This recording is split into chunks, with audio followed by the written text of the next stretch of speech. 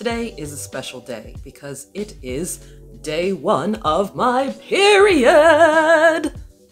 So, what's so good about that? Well, I'll tell you, it's been a rough couple of weeks because I am one of the unlucky folks in the world afflicted by a condition called PMDD. Think of it as as PMS or PMT times a thousand.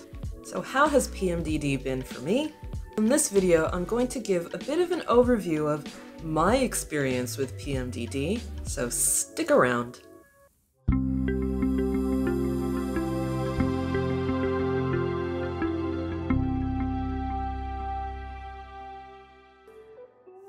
Hi, I'm Leslie, and I am a life coach based here in Brisbane, Australia. And the last two weeks have been very challenging in that I've had a lot of brain fog, I've been very short tempered, um, just generally feeling quite overwhelmed. But that's PMDD. PMDD stands for premenstrual dysphoric disorder. I described it in my intro as PMS times a thousand because it comes with the regular symptoms of PMS, things like bloating, irritability, fatigue. But there's the added bonus of feeling those symptoms intensified and feeling them for a longer period of time than your standard episode of PMS.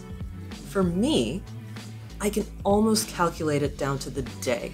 It's usually around day 14 of my cycle, so ovulation day.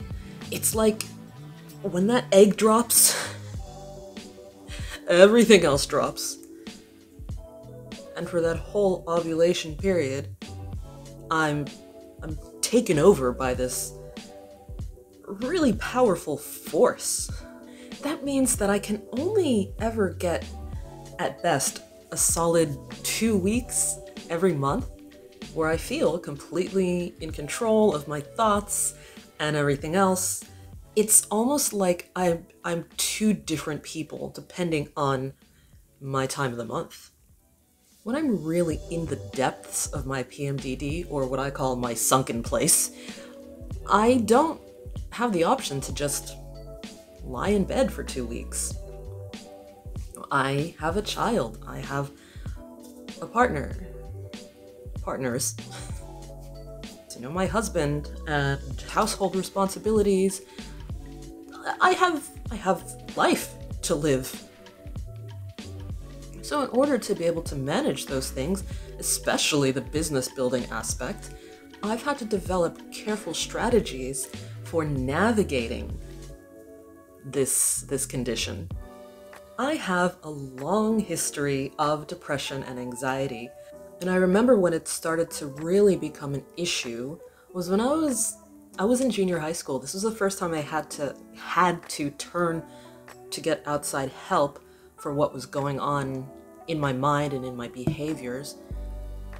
And knowing what I know now, this is when my depression and anxiety really became exacerbated by the cycle of my periods for years and years and years, I had no idea what was going on inside me.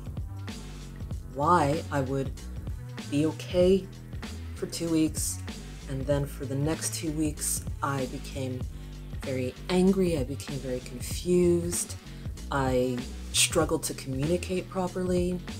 In some situations, I would just have to retreat and not talk to any of my friends. Getting my homework done was a huge challenge. And I blamed myself. You know, I felt like maybe I was just lazy or there was or guilty of some other behavior that was making me feel like I couldn't function as a regular human being. You know, I, I didn't know what to think. The worst part about it, I think, for me, was the confusion. It was just so confusing to me that I would be two different people. And when I was in my sunken place, I it's like I couldn't recognize or remember that person that I was when I was not in the darkness, and vice versa. I would have times where I felt pretty happy go lucky. I was, I was a relatively jovial kid, even in my edgy teenage years, which I'm still going through, for the record. I had a lot of things that I enjoyed. I had hobbies, I loved art, I loved music, I loved any kind of self expression. Those things made me feel really happy. But then, in the middle of my cycle, it was like a pendulum. And when that pendulum swung, it got stuck. I would I would get into fights a lot more easily. I would I would fall asleep in class because the fatigue was so bad. I would clash with my teachers because of it. I would struggle, struggle, struggle to focus on anything for more than a couple of minutes. So my my grades started to suffer. My study skills at that age weren't well developed enough for me to to work around those mood shifts at the time. When I reached my late teenage years and my early 20s, I had a slightly better handle on things because I had more well developed study skills. I was a bit more organized. I had more practice being alive and being a human. But I still didn't have a full grasp of what was happening in my body. I didn't know what I didn't know. My mood shifts became particularly problematic at that time because I, I wouldn't go from passive to being really aggressive or anything like that. It was more that I would be feel I would feel very confident at one minute and then sink into this deep vulnerability, this deep feeling of melancholy at, at the smallest trigger. I never became violent. I never became mean and nasty. But it was still a huge problem in my personal relationships because it was very often used against me in some way. And when you're experiencing something that you yourself don't understand, it's impossible to communicate that to a romantic partner or someone else you might be working closely with because you don't have the power of hindsight on your side at that stage. So I got into a relationship or two where I was almost berated for not being able to just be spontaneous and get up and go out and do things, or for getting upset when the guy I was with was behaving like a jerk, and because I was sometimes in that mode of completely lacking confidence, my ability to stand up for myself was threatened. So I became an easy target for emotional abuse. And that sucked. The next shift in my personality brought a different challenge in that I did start to feel a level of aggression after years of battling with this condition but not knowing what it was, and struggling to communicate my needs and my expectations to people who I was close to, it started to make me really angry. This was most problematic in my late 20s. Like, my confidence level was pretty consistent, it was really high. So, in my low state, it wasn't that I was lacking in confidence. I was a lot more protective of that confidence.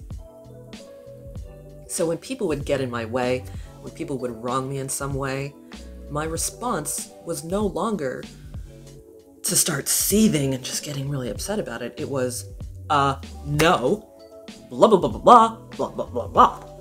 Sometimes my responses, I'm sure, were completely justified, because I've always been a person who stands up for myself, no matter what mental state I am in.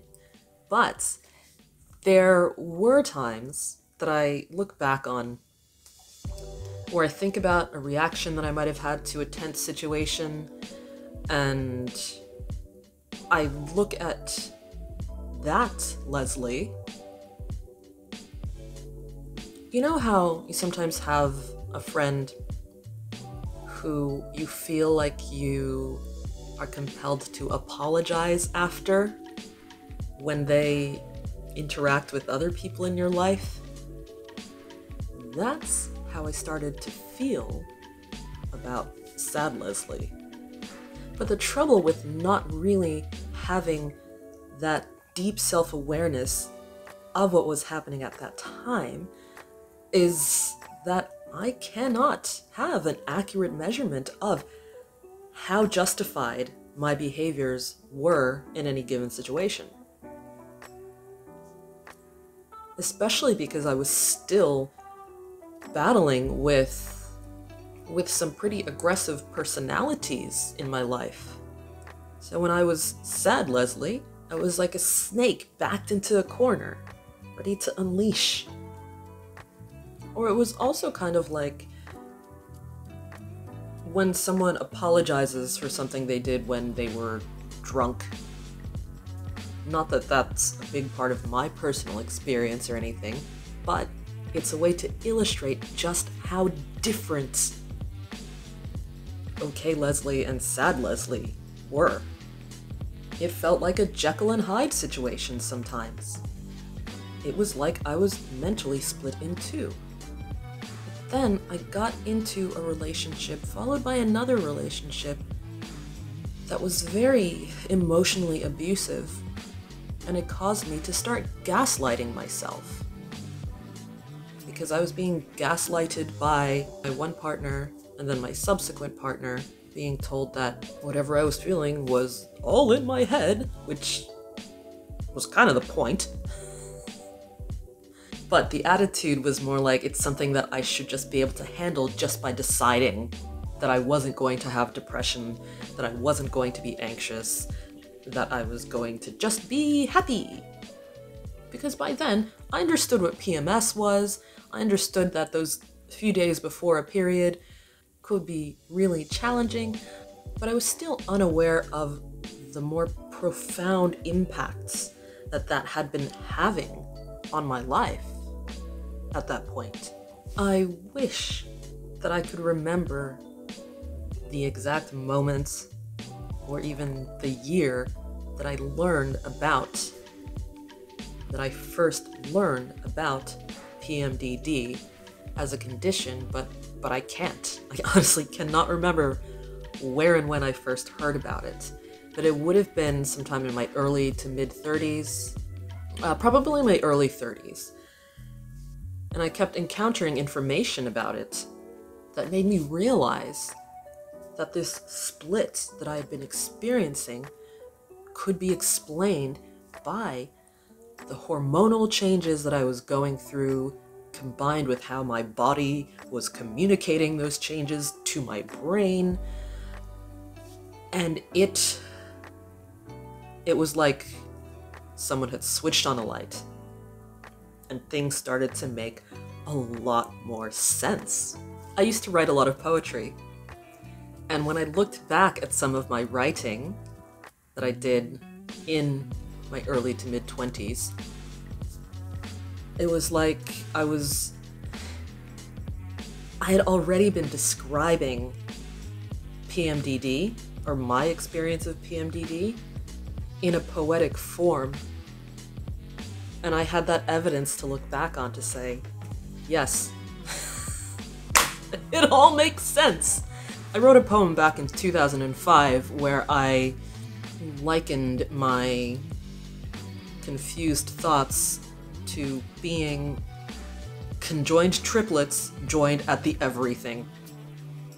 It was like these little personalities constantly at war with each other, constantly perceiving each other in very strange in different ways. Some of my other writing was about this not being able to recognize my own reflection, and it didn't solve my problem, but it was very validating.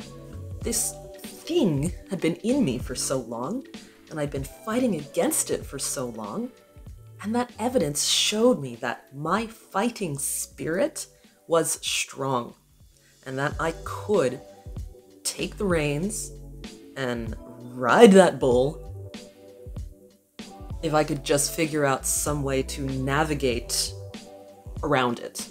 I actually had relief from PMDD for almost two years. That was when I was pregnant with my daughter, and for the period of time where I was breastfeeding her, and for the months that followed, where I started taking antidepressants to deal with postpartum issues, to deal with residual anxiety from my previous miscarriages and everything that that was bringing into my early parenthood. I had almost forgotten about my PMDD until it came back. I went through a brief period where I said, I'm feeling really good. I've made great changes for my life. I had quit my job, I'd started my business, and I thought, with all these changes I've made, I'm sure now's a great time to start weaning myself off of my off of my SSRIs. And it was fine for a bit. I, I, I did it with my doctor's supervision. I had like a whole plan and everything that I followed very carefully. But then, because my depression and anxiety were so heavily triggered by hormonal shifts, and I had forgotten about that, I was physically defenseless. I got into such a dark place where I could not feel joy. I would see people around me hanging out with their friends, spending time with their families, having picnics, and, you know, just smiling. And I. I couldn't relate. I couldn't relate to smiling faces, even when I was in physical settings where I could go through the motions of having a good time, where I was trying to remind my body and my mind what it felt like to just enjoy being at a concert or at the park or whatever it may be. It just was not providing me any relief. In that two week period after my ovulation. But then my period would come and I could take a break. I could take a break from it. But then, like clockwork, day 14 to 16, whoosh, back in the sunken place. I remember one time I was editing one of my YouTube videos and I was looking at this this woman on the screen. This vibrant, happy, confident, you know, pretty kick-ass woman on the screen. And I thought logically I know that that is me. I do not recognize that woman. How can we be the same person? I needed relief. I needed to get better. I tried a lot of things yoga, meditation, lots of exercise. I was still seeing my psychologist. I I was trying to do whatever I could do to avoid going back onto my SSRI. Because I had this idea in my head that, oh, I don't want to have to depend on pills for the rest of my life, or you know, I want to prove to myself I can do it. I was trying natural remedies. I was trying psilocybin, microdosing. And when I wasn't in the depths of PMDD, I was feeling pretty normal. But it was that that 2 weeks of darkness that I just dreaded during the times when I felt okay. Someone I was I was dating at the time encouraged me to get back on the meds until I could figure out some other things in my life because they really did help me. I didn't experience bad side effects when I got the dosage right. And he was very straight to the point about it. He was very logical about it. Which at first frustrated me, but then I came to really appreciate it. I was like, you know what? What am I doing to myself? This this is something that I need to do right now during a period of great transition in my life. It worked for me. It could work again. So I got back on my medication. And that really helped with the depression and anxiety aspect of the PMDD, but I still have the brain fog, the lack of concentration, and those aspects to to work around to to get some of the important things done that I need to do. So I'm not cured, but I have come to a place of great acceptance also through the support of a PMDD specialist who I've seen and through the support of ongoing mental health treatment that the PMDD is just it's a part of me. What's going to happen with my condition in the future or with better research into the condition, that, that all remains to be seen. But right now, my best strategies involve keeping a close eye on my cycle. I use the Clue app on my phone, tracking my moods, and planning for input days and output days. That's what I call them especially where it applies to my, my business. Input days, that's, that's when I'm in the depths of my PMDD. That's when I schedule my research and developments, particularly reading books, reading articles, reading, reading, reading, taking things in. If I want to produce content, if I want to produce a talk, or if I want to to write something or or schedule a bunch of new clients for consultations, I schedule those for my output days, which is the other two weeks of my cycle, because that's when I know that I'm at the top of my game and that and that being in that like in that output state will be a lot less challenging than if I were to do those things in the input days. Even recording YouTube videos. It's a much more flowy experience when I am having my output days. That's a very general overview of my experiences with PMDD. I'm going to call this part one.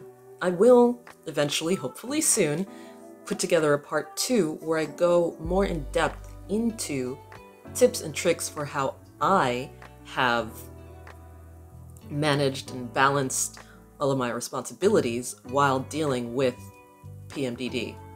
And also how someone without PMDD might be able to apply those things to periods of time where you are experiencing a chronic physical ailment or a time of great stress in your life.